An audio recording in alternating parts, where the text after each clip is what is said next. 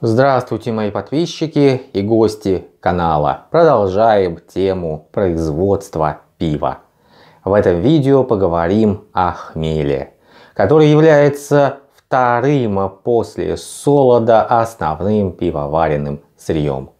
С точки зрения технологии важнейшей частью хмеля являются горькие вещества, которые сосредоточены преимущественно в лупулине, так называемой хмелевой муке, придающие пиву характерный горький вкус и обладающие антисептическими свойствами. Хмелевые дубильные вещества, которые при кипячении сусла с хмелем осаждают белки и тем самым способствуют образованию бруха. Хмелевое эфирное масло, являющееся основным компонентом аромата хмеля, который характерен для отдельных видов хмеля и для разных областей его выращивания. Хмель как источник специфических горьких и ароматических веществ впервые стали применять за несколько столетий до нашей эры. Документально зафиксировано использование хмеля в 736 году на юге Европы. В Америку хмель завезли в 1629 году.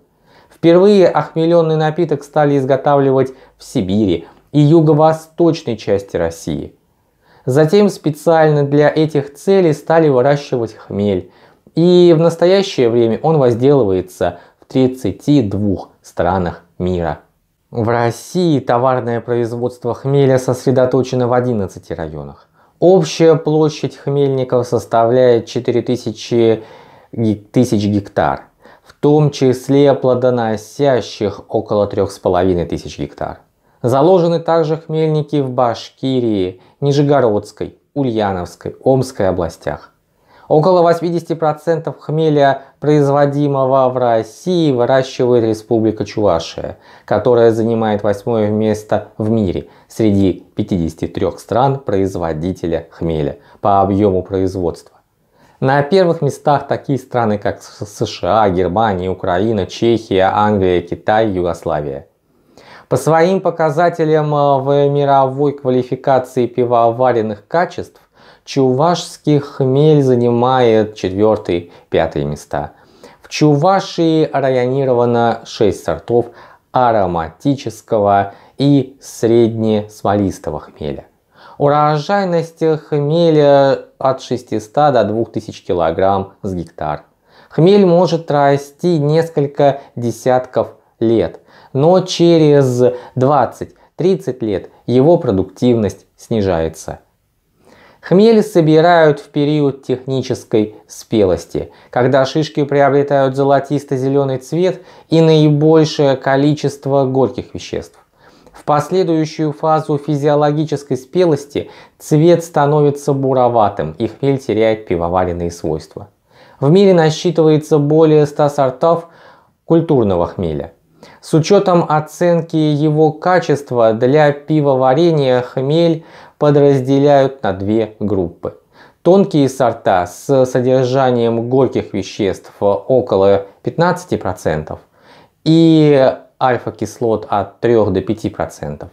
И грубые сорта с содержанием горьких веществ более 20% и альфа-кислот от 8 до 12%.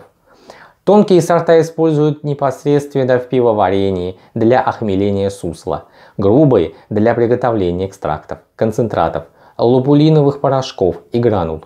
Некоторые сорта хмеля накапливают преимущественно горькие, а другие ароматические вещества. Урожайность ароматного хмеля, как правило, ниже горького. Ботаника и морфология хмеля. Хмель – это высушенные хмелевые шишки, представляющие собой разросшиеся женские соцветия европейского хмеля из семейства коноплевых. Хмель – двудомное многолетнее растение. Для пивоварения выращиваются только женские растения, соцветия которых должны оставаться неоплодотворенными. Хмелевое растение может насчитывать несколько десятков лет – Однако спустя 20-30 лет его продуктивность снижается. Основной подземной частью растения является деревянистая бабка или хмелевая матка, которая вырастает из черенка и образует могучую и богатую разветвленную корневую систему. Из бабки, в свою очередь, вырастают горизонтальные или наклонные корневища и вертикальные побеги.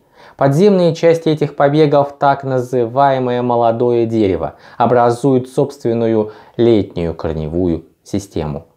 Молодое дерево используют в виде черенков для вегетативного размножения хмеля. Вертикальных побегов бывает большое количество, однако обычно заводят только два. Надземная часть хмелевого растения, стебель или лоза, имеет в сечении шестигранную форму. Стебель полый, вьющийся, правого вращения, покрытый волосками. На каждом колене стебля вырастает по два встречных листа, трех или пяти пальчатых. В пазухах листьев вырастают боковые веточки, которые в верхней части образуют соцветия. Окраска соцветия считается характерным признаком и может быть зеленой и красной, почти фиолетовой. В практике хмель делят по окраске на зеленый и красный. Переходным типом являются полукрасные. Почти все культурные сорта хмеля относятся к группе красных. Соцветия женских растений вначале образуют околоцветники или розетки и вырастают в шишечки длиной от 3 до 5 см. Шишечки имеют зеленый или слегка красный цвет и содержат основу будущих прилистников и кроющих листков, из пазух которых торчат пестики, похожие на короткие тонкие нити. При созревании соцветия образуются шишки – а основой хмелевой шишки является короткий, покрытый волосками, характерно изогнутый стерженек. На каждом колене стерженька вырастает два прилистника, сильно заостренные на концах. Под ними четыре закругленные на концах, кроющие листка. А из их пазух торчат четыре пестика. Равномерное построение шишки типично для здоровых и культурных видов хмеля. Форма шишки колеблется от шарообразной до удлиненно-цилиндрической. Культурные сорта хмеля чаще всего имеют шишки яйцевидной формы, на конце закрытые. Равномерный изгиб стерженька и расположение на нем прилистиков и кроющих листиков типично для отдельных сортов. Чехословацкие сорта хмеля имеют шишки длиной от 1 до 5 см, после высушивания от 0,5 до 3 см. Цвет шишек зрелого хмеля зеленый, а оттенки от желто-зеленого до золотисто-зеленого. Стерженек, кроющие листки в меньшей степени и прилистники у основания покрыты лимонно-желтыми или золотисто-желтыми железками, которые при созревании образуют зернышки лупулина, хмелевая мука, диаметром от 0,15 до 0,25 мм. Лупулин является наиболее ценной частью хмеля. Железки состоят из полигональных клеток, образующих пузырьки, которые наполнены желтым секретом, содержащим горькие вещества и эфирное масло. Небольшая доля этих веществ имеется также в кроющих листках и прилистниках шишки. Цвет лупулина является внешним признаком качества, а его количество признаком продуктивности хмеля. Лупулин темнеет при сушке хмеля при температуре выше 45 градусов Цельсия, а также от поражения милдью и от старения при хранении. Старый хмель имеет лупулин красно-коричневого цвета без блеска. Светло-лимонный цвет лупулина иногда бывает признаком незрелости шишек.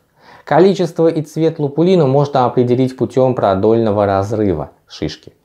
Более бедным лупулином бывает опыленный хмель. Такой хмель содержит круглые и трехгранные семена диаметром 2 мм. Твердые, красно-коричневой и фиолетовой окраски.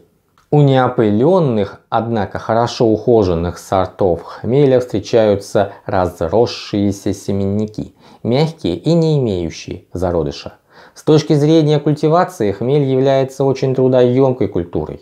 Для него требуется высокоурожайная, богатая кальцием и железом почва с растворимым подпочвенным горизонтом.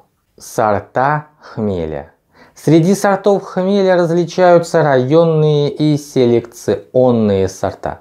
Районные сорта возникли из местных сортов путем многолетнего отбора в определенной области выращивания. Селекционные сорта получены путем селекции или скрещивания. У сортов, выведенных селекцией и вегетативным размножением, различаются популяции и клоны. Путем скрещивания или скрещивания и вегетативного размножения получают гибриды, которые являются облагороженными сортами. У культурного хмеля насчитывается около 100 сортов. В практике возделывания, как уже было сказано, хмель разделяется по цвету лозы на красные и зеленые сорта. Переходным типом являются полукрасные. Красные сорта имеют лозу, окрашенную анатоциановым красителем, а от красного до красно-фиолетового цвета. Они растут довольно быстро, и поэтому бывают ранние и полуранние. У красных сортов хмеля шишки светло-зеленого цвета, яйцевидной формы и хорошо закрытые. Они богаты лупулином, имеющим хороший хмелевый аромат.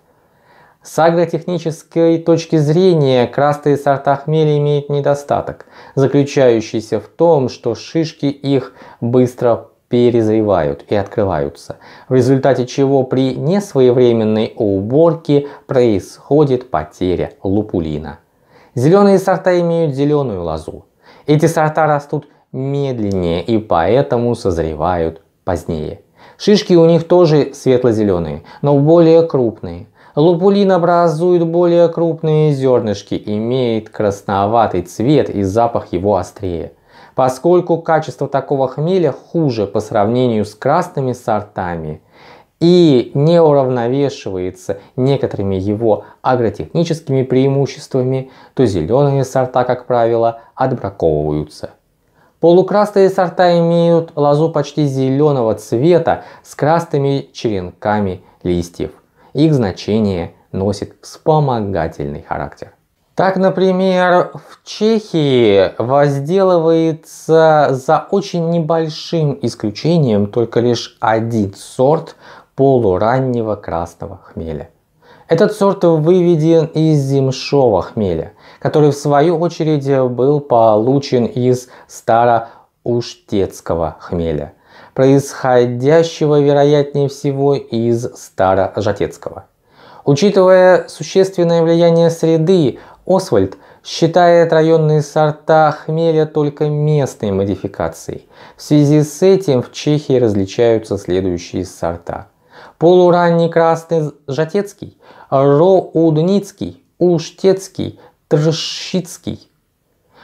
При оценке различают хмель тонкий или селекционный, а также средний и грубый. Большая часть хмеля чешского происхождения относится к тонким хмелям. У чешского хмеля под влиянием среды в отдельных производственных районах имеются определенные различия, а именно в построении шишек, запахе и урожайности. Немецкие сорта хмеля, например, такой как полуранний красный галлерта узкий, который имеет шишки яйцевидной формы и высокое содержание лупулина, очень хорошо шо культивируется в Баварии. Кроме него там возделывается полуранний красный шпальцкий, дающий хмель очень хорошего качества. Этот сорт, происходящий от чешского земшого хмеля, однако он несколько урожайнее. Ранний теннантский красный также очень хорошего качества. К более грубым немецким зеленым сортам принадлежат поздние зеленые сорта Вюртенбергский и Герсбрутский. Среди английских красных сортов следует назвать Голдинг с полосатыми шишками средней величины и далее сорт Толтрас, Коллигейт и другие – Из зеленых сортов наиболее распространены сорта Фаглс и Кластер. Относительно новыми английскими гибридными сортами являются Бреверс Gold и Булия Hope. В США наряду с исконными сортами, называемыми по районам возделывания, например, Орегон, Якима, Сакраменто и так далее, выращиваются европейские зеленые сорта Фаглс и Кластер. Все они отличаются высокой урожайностью, однако имеют специфический запах. Признаки, повышающие качество хмеля, это отличное возревание, хорошие однородные шишки, тонкое строение шишки и стерженька, высокое содержание лупулина, особенно хорошая сушка с учетом цвета лупулина, ярко выраженный тонкий аромат, хорошее вычесывание и цвет лучше, чем у соответствующего типового образца. Признаки, снижающие качество хмеля недостаточное вызревание или перезревание, неполноценное и неравномерное шишкообразование, грубое строение шишки и стерженька, семянность, небольшое содержание лупулина, плохой лупулин и матовая окраска в результате неправильной сушки или плохой агротехники. Худший запах, плохое вычесывание, неудовлетворительный цвет и наличие большого количества следов от вредителей, по сравнению с соответствующим типовым образцом. Раскрытие шишки загрязненное и влажность выше 13%. Хмель может поставляться в двух видах. Натуральном, то есть не окуренным серой, без обработки и в первоначальной упаковке. И второе, обработанным, то есть окуренным серой и прессованной, иногда отсортированной, вычисленной и высушенной. Для поставки потребителям для непосредственного применения хмель упаковывают в тюки. Для непродолжительного хранения до будущего урожая в болоты. Иногда в мешки из джутовой ткани. Для экспортных поставок в отдельных случаях хмель упаковывают в бочки и жестяные коробки. Вы посмотрели видео, посвященное хмелю. Благодарю вас за внимание. Подписывайтесь на канал поставьте лайк, напишите комментарий с вопросом, если вам что-то непонятно. Поделитесь этим видео в социальных сетях и в WhatsApp с теми людьми, которым оно могло бы быть интересным. А на этом я с вами прощаюсь. Желаю вам всяческих успехов и до новых встреч.